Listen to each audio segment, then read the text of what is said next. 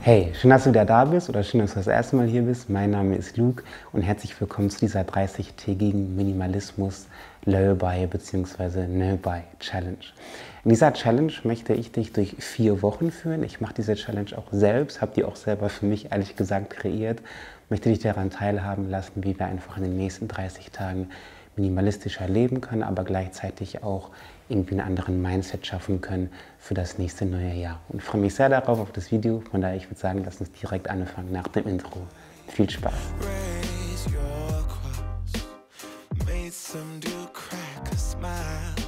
He asked if I could stay a while. Bevor wir das Video beginnen, ich habe dieses Video für dich auch als kostenlose PDF zusammengefasst. Das heißt, du kannst während dieser 30 Tage immer wieder auf diese PDF zurückgreifen. Die habe ich dir unten in der Beschreibung verlinkt kannst du dir abspeichern, kostenlos runterladen, aufs Handy packen und hast dann jederzeit einen schönen Überblick, ähm, ja, wo du gerade stehst und vielleicht gibt dir das so einen tollen Anker für diese 30 Tage.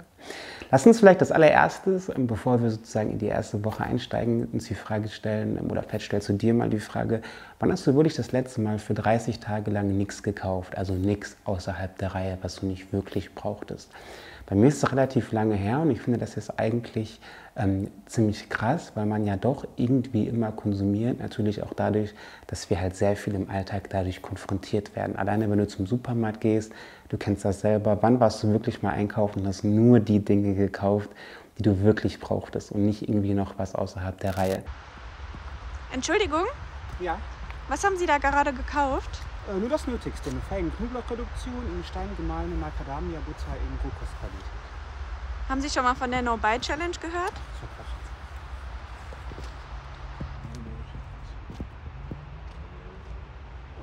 Was ja auch für dich okay ist. Ich denke, es soll auch gar nicht darum gehen, dass man komplett auf den Konsum verzichtet. Aber ich glaube, es ist spannend, sich diese Frage einfach mal zu stellen. Vielleicht so ein paar Beispiele. Online-Käufe, Kleidung, Dekoration für zu Hause. Ähm, das sind, denke ich, Sachen, die man halt relativ schnell mitnimmt. Und deswegen würde ich in dieser ersten Woche, in der du dir einfach mal sieben Tage zunächst einfach mal vornimmst, nichts zu kaufen, Tagebuch darüber führen, was du alles nicht gekauft hast. Normalerweise macht man das ja andersrum, weil dadurch wirst du nämlich, wird dir auch klar, wenn du nämlich den Betrag dahinter schreibst, wie viel Geld du auch in dieser Zeit gespart hast. Wir werden in Woche 2 das noch etwas fortführen, aber für Woche 1 schreib dir einfach mal auf, was du eigentlich gerne gekauft hättest, wenn du im Supermarkt bist, in der Stadt bist, wenn du online irgendwie was schaust und was du eben nicht ausgegeben hast und dann mach dir eben bewusst, welche Summe das war. Darüber hinaus stell dir die Frage, welchen Wert hätte das, was du gekauft hättest, wirklich für dich? Ich würde hier mal unterscheiden zwischen Funktionalität und Schönheit. Das bedeutet nicht, dass wir nicht Dinge kaufen sollen, die einfach nur schön sind, die wir aber eigentlich nicht brauchen. Bestes Beispiel, diese Keramiktasse beispielsweise habe ich neu gekauft, jetzt im Dezember. Ich brauche sie aber eigentlich nicht, aber ich fand sie eben einfach wunderschön. Aber vielleicht so ein paar funktionelle Beispiele, und zwar ein Pulli. Wenn du wirklich einen Pulli brauchst, weil dir halt einfach kalt ist, natürlich sollst du dann auch in diesen 30 Tagen einen Pulli kaufen. Du sollst nicht frieren. Wenn du aber eigentlich genug Pullis hast, die auch schön sind, wovon ich mal bei den meisten von uns ausgehe, muss der Pulli vielleicht nicht sein. Das gleiche gilt auch für Schminke. Wenn du halt einen neuen Abdeckstift brauchst, weil es einfach dein Wohlbefinden steigert im Alltag und dein jetziger irgendwie leer ist oder verloren hast oder sonst was, solltest du ihn dir kaufen. Brauchst du jetzt einen zusätzlichen Abdeckstift oder zusätzliche Schminke? Vielleicht eher nicht. Vielleicht kann man in diesen 30 Tagen darauf verzichten. Was ist mit Pflanzen, mit Dekoration? Wenn du jetzt gerade neu in deine Wohnung einziehst und du möchtest einfach eine wunderschöne Pflanze irgendwo in einer Ecke haben, dann solltest du die natürlich auch in dieser Zeit kaufen. Deswegen auch low buy und nicht no buy. Wenn du aber eigentlich genügend Pflanzen und Dekoration zu Hause hast und du findest einfach eine weitere Pflanze schön, dann probier einfach mal in diesen 30 Tagen darauf zu verzichten, insbesondere aber in dieser ersten Woche. In der zweiten Woche, und die geht einen Schritt weiter, weiter voraus, soll es natürlich auch wieder versuchen, nichts zu kaufen. Aber versuch einfach mal in dieser zweiten Woche jeden Tag dich 15 Minuten mit dem Thema Finanzen zu beschäftigen. Und zwar ganz einfach durch YouTube. Ich habe das damals auch gemacht und ich werde das auch jetzt wieder machen im Januar. Ähm, und zwar schau einfach mal 15 Minuten Finanzvideos. Das ähm, das äh, muss nicht ein Video sein, es können auch zwei Videos sein oder drei Videos. Du liest 15 Minuten lang ein Buch. Ich kann dir das Buch Young Money Guide sehr empfehlen für alle Anfänger. Und dann schau einfach mal, was es mit dir macht. Es geht gar nicht darum, dass du dir jetzt ähm, Notizen machst dabei oder irgendwie aktiv was lernst, sondern es geht viel, viel mehr darum, dass du durch diese Finanzvideos und den Einstieg in das Thema Sparen und Investieren einfach einen ganz anderen Zugang zu Geld bekommst. Ich gebe dir ein Beispiel. Wir haben unseren Kühlschrank, äh, wir haben jetzt einen neuen Kühlschrank und wir verkaufen jetzt unseren alten Kühlschrank. Der Typ kommt übrigens gleich. Und wir verkaufen diesen Kühlschrank für 100 Euro. Jetzt stell dir mal die Frage, was würdest du mit diesen 100 Euro machen? Beziehungsweise, wenn ich dir jetzt diese 100 Euro geben würde, sagen wir, du wärst der Verkäufer oder die Verkäuferin und ich wäre der Käufer, was würdest du damit machen oder wie würdest du darüber nachdenken? Würdest du dir denken, oh super, mit diesen 100 Euro kann ich mir das und das kaufen? Würdest du denken, oh super, diese 100 Euro kann ich sparen? Oder würdest du vielleicht sogar denken, oh super, diese 100 Euro kann ich investieren.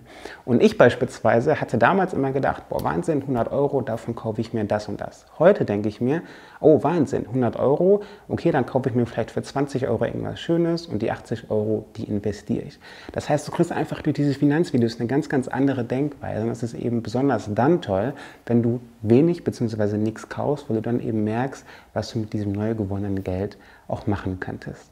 In der dritten Woche, während du weiterhin nichts kaufst, was nicht wirklich nötig ist, schreib dir mal deine drei oder vier oder zwei wichtigsten Konsumbereiche raus. Also wofür möchtest du Geld ausgeben, was dich wirklich wirklich glücklich macht. Ich glaube, häufig tätigen wir Käufe, vielleicht geht dir das auch so, bei denen wir kurzfristiges Glück suchen, weil man vielleicht Stress hatte oder man hatte einen blöden Tag das ist ja auch völlig okay. Ich meine, jeder hat irgendwie eine andere Stressbewältigung, aber vielleicht könnt ihr auch etwas, etwas anderes diesen Stress bewältigen, wie beispielsweise ein Spaziergang oder Sport.